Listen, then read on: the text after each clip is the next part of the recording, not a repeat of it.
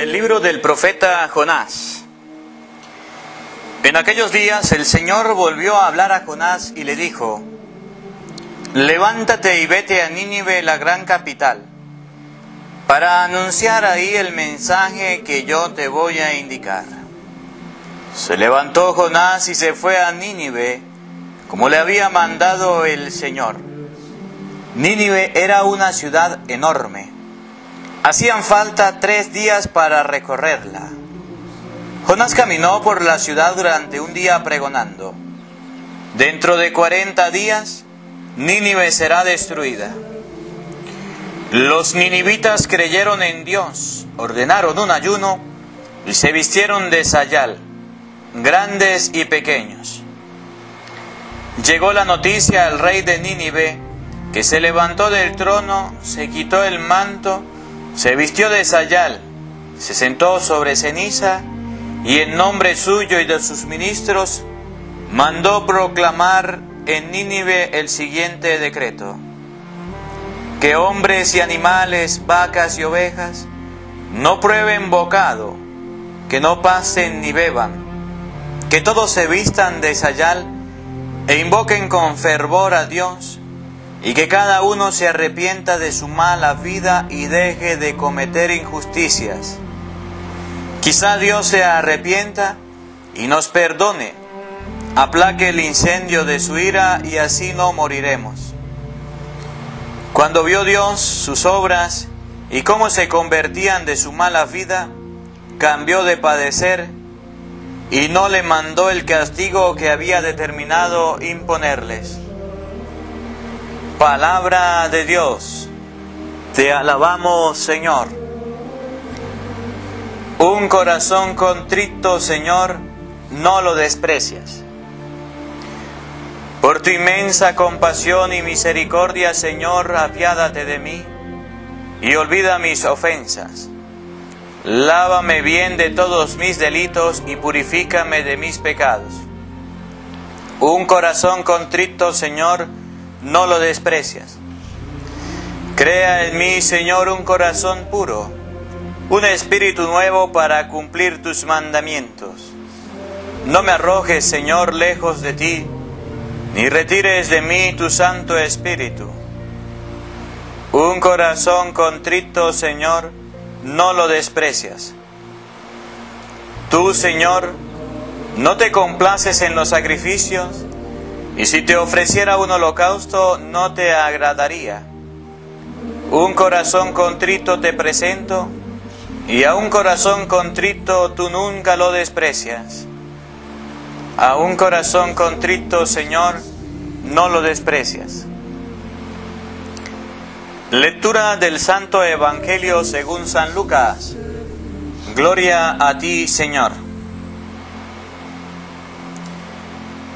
En aquel tiempo, la multitud se apiñaba alrededor de Jesús y éste comenzó a decirles, la gente de este tiempo es una gente perversa. Pide una señal, pero no se le dará más señal que la de Jonás. Pues así como Jonás fue una señal para los habitantes de Nínive, lo mismo sucederá el Hijo del Hombre para la gente de este tiempo. Cuando sean juzgados los hombres de este tiempo, la reina del sur se levantará el día del juicio para condenarlos, porque ella vino desde los últimos rincones de la tierra para escuchar la sabiduría de Salomón, y aquí hay uno que es más que Salomón. Cuando sea juzgada la gente de este tiempo, los hombres de Nínive levantarán el día del juicio para condenarla, porque ellos se convirtieron con la predicación de Jonás y aquí hay uno que es más que Jonás. Palabra del Señor. Gloria a ti, Señor Jesús. Invoquemos la presencia del Espíritu Santo sobre nuestra vida, para que sea Él quien nos acompañe y nos dirija. Ven Espíritu Santo, llena nuestros corazones de tu luz, de tu sabiduría para interpretar tu palabra, no como palabra humana, sino como palabra de Dios que es en realidad y que ejerza su acción en nosotros los creyentes. Amén. Sean bienvenidos, hermanitos, a la escucha de la palabra de Dios en este día, hoy, miércoles 21 de febrero. Les habla el Padre Marcos Galmis.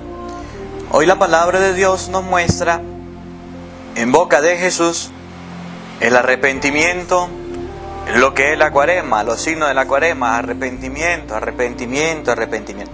Y la palabra de Dios nos enseña que por medio de un ejemplo en el libro de Jonás, que sí es necesario el arrepentimiento para que Dios cambie de parecer en, en, cuestiones de los hombres o con relación a las personas.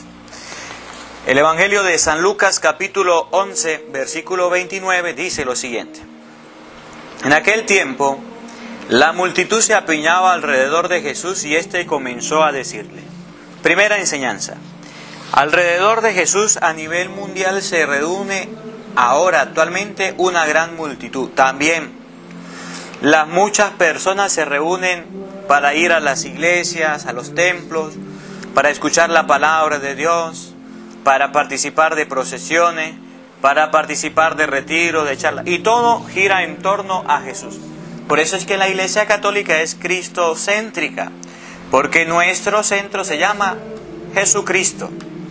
Cuando un protestante dice, ustedes tienen a María y que María es esto, no, nuestra iglesia es cristocéntrica. El centro de la vida nuestra es Jesucristo. No calumnie, por favor, querido hermano protestante. Se apiñaba alrededor de Jesús y Jesús le colocó un ejemplo, les habló, que hoy es el mismo ejemplo que nos coloca a todos. Dice, la gente de este tiempo es una gente perversa la gente de este tiempo, inclusive de lo mismo que se acercan a Jesús, es gente perversa. ¿Qué significa ser gente perversa? Esto. Pide una señal, pero no se les dará más señal que la de Jonás. ¿Qué significa perversa en este lenguaje? Que es una gente que anda buscando señales, que anda buscando signos. Por ejemplo, Dicen, allá hay una misa donde se hacen este, milagros, sanación, a esa van. Pero a la Eucaristía común y corriente no les gusta ir. Dicen, allá hay una persona que expulsa demonios, que a ese tipo de persona. Escuche, querido hermano, que me sigue a través de las redes sociales. La palabra de Dios nos enseña que no debemos seguir a Jesucristo solamente por señales.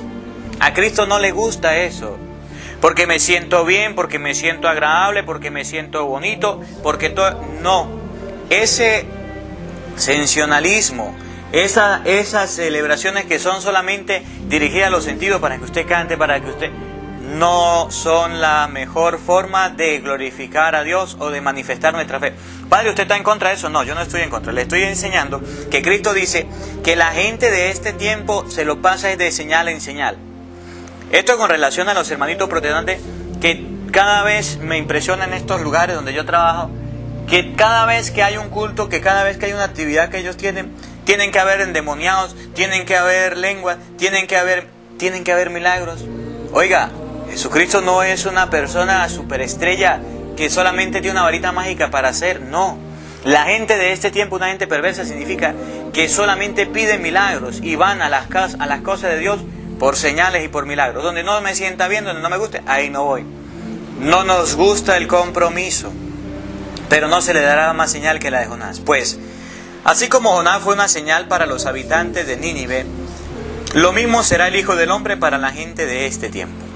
Jonás fue una señal. Y ahora la palabra de Dios vamos a ir a la señal de Jonás. Jonás, el libro de Jonás, capítulo 3, versículo 1. Vamos a ver qué es una señal. Vamos a ver ¿Qué es lo que Cristo nos enseña cuando habla de señal? Cuando habla de, Jonás o cuando habla de la palabra de Dios, cuando quiere que nosotros lleguemos a Dios, ¿de qué manera Jonás hizo que el pueblo se convirtiera? Escuchemos. Jonás capítulo 3. En aquellos días el Señor volvió a hablar a Jonás y le dijo, levántate y vete a Nínive, la gran capital, para anunciar ahí el mensaje que te voy a indicar. Dios le dio una misión a Jonás. La misión que le da a los sacerdotes. Vayan a predicar, bauticen y enseña en Mateo capítulo 28, versículo 18 y siguiente. Vamos a ver si Jonás cumplió con el mandato de Dios. Se levantó Jonás y fue a Nínive como le había mandado el Señor. Nínive era una ciudad enorme que hacía falta en tres días para recorrerla. Jonás caminó por la ciudad durante, durante un día pregonando, dentro de 40 días Nínive será destruida. ¿Le hizo caso Jonás a Dios? Sí le hizo caso. Se levantó y fue a predicar a la palabra de Dios a Nínive. Ahora, vamos a ver qué hicieron los ninivitas cuando escucharon la invitación o la conversión o la palabra que Dios mandaba por medio de Jonás. Los ninivitas creyeron en Dios, pero no fue Dios el que le habló, fue un ministro de Dios. ¿Cuál es el problema de las personas hoy día? Que no quieren oír a los ministros de Dios, a los sacerdotes. Y por eso andan buscando señales, andan buscando por allí y por allá. A las personas no les gusta oír la palabra de Dios. Los niñitas sí creyeron en la palabra de Dios. El tiempo de cuarema es un tiempo para oír la palabra de Dios. Ordenaron un ayuno. El tiempo de cuarema es para hacer ayuno. Y se vistieron de sayal, grandes y pequeños. la cuarema es para todos, para grandes y para pequeños. La palabra de Dios nos enseña que Jonás predicó la palabra y el pueblo se convirtió. Llegó la noticia hasta el rey de Nínive, que se levantó del trono, se quitó el manto, se vistió de sayal, se sentó sobre ceniza y en nombre suyo y de su ministro mandó decretar en Nínive el siguiente decreto. Que los hombres y animales, vacas y ovejas, no prueben bocado, que no pasen ni beban, que todos se vistan de sayal e invoquen con fervor a Dios y que cada uno se arrepienta de su mala vida y deje de cometer pecado. Quizás se arrepienta Dios y nos perdone, aplaque el incendio de su ira y así no moriremos. Hasta el rey escuchó la palabra de Dios por boca de Jonás. Oiga, Cristo nos enseña que el signo que se le va a dar a la gente de este tiempo no van a ser milagros, no van a ser señales. El signo que ustedes y yo tenemos es la palabra de Dios. Pero ¿Saben cuál es el problema? Que a nosotros no nos gusta oír la palabra de Dios. A nosotros no nos gusta oír las enseñanzas de Dios. Todo lo que tenga que ver con Dios lo evadimos. Todo lo que tenga que ver Dios lo desechamos, lo apartamos. Leer la Biblia en este tiempo, eso no se hace. Lo dice la gente de este tiempo. Ir a misa en este tiempo, eso la gente no lo hace en este momento. Hacer oración en este tiempo, no. Hacer ayuno, hacer obra de caridad como Dios manda en este tiempo, no. Esa es la forma en que Dios nos está invitando en este tiempo de cuaresma. Y es la invitación que yo les hago hoy en el nombre del Señor. Si usted quiere servir al Señor, hágalo, sí, pero no como a ti te parezca o como a ti te convenga. Es como que, por ejemplo, usted vaya donde el médico y tenga una herida y le diga, mire doctor, yo quiero que usted me cure, pero usted sabe que yo no quiero que me arda, yo no quiero que me duela, yo quiero que usted me cure así, así. ¿Cómo le va a ocurrir a usted decirle al doctor cómo quiere que lo cure? ¿Cómo se le ocurrir decirle, el profesional es el doctor, deje que te cure, deje que te alivie, deje que te sane, deje que actúe Dios a través de él? Así pasa con Dios. Yo quiero a un Dios a mi medida, como a mí me parezca, como yo quiera. Y hoy Jesús habla a la multitud y nos dice, no, la gente de este tiempo tiene que salir de la comodidad. Jonás predicó, el rey salió de su trono, de su comodidad, de lo que a él le gustaba, de lo que a él le agradaba. Hoy la palabra de Dios nos enseña que el ser humano vive una vida de confort, de comodidad, y no es la forma que a Dios le agrada. Se dice un retiro en la iglesia, no voy al retiro. Los padres de catequesis vayan a la iglesia a acompañar a ellos, no les gusta que la formación debe crecer, que debe aumentar y a la gente no le gusta formarse. No le gusta oír la palabra de Dios. Recuerde que toda acción de la iglesia, toda acción de la iglesia católica lleva en primer lugar la palabra de Dios. Y siempre, donde un sacerdote predique, donde un sacerdote enseñe, donde un sacerdote oriente, la palabra de Dios va. Y la palabra de Cristo tiene que ser porque nosotros cumplimos el papel de la misión de Jonás, predicar en todos lados la palabra de Dios. Pero a la gente de este tiempo no les gusta oír la palabra de Dios. Que en este día la invitación sea a escuchar la palabra de Dios, a leer la palabra de Dios, a escudriñar la palabra de Dios. Que la palabra de Dios en este día habite en tu corazón y que el Señor te bendiga en el nombre del Padre, del Hijo del Espíritu Santo. Amén. Le habló el Padre Marcos Galvis. Dios te bendiga. Hola, sé que te gusta oír la palabra de Dios, por eso te invito a suscribirte en nuestro canal de YouTube, Padre Marcos Galvis. No se le olvide darle la campanita, donde vas a recibir videos, enseñanza de temas de la palabra de Dios. También vas a recibir el Evangelio del día. Luego, puede darle me gusta a nuestra página en Facebook, Padre Marcos Galvis, y también nos puede seguir en Twitter, Padre Marcos Galvis. Estos enlaces los encontrarás en la descripción del video.